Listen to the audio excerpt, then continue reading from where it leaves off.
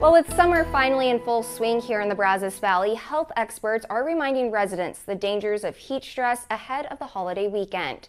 Staying hydrated and protecting your body from the sun are key to avoiding heat exhaustion and heat stroke when spending time outside this summer.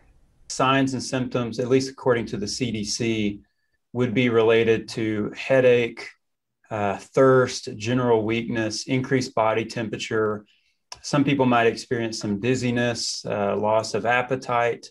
Those who are high risk for heat stress include adults 65 and older, as well as children ages 1 to 5 years old, and those with existing medical conditions.